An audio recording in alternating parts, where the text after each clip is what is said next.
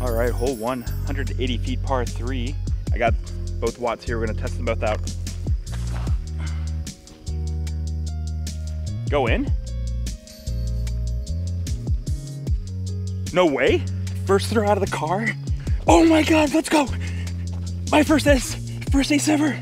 Oh, let's go. Dude, this is going in the bag, I think. and that's the video, guys. Watt thumbs up.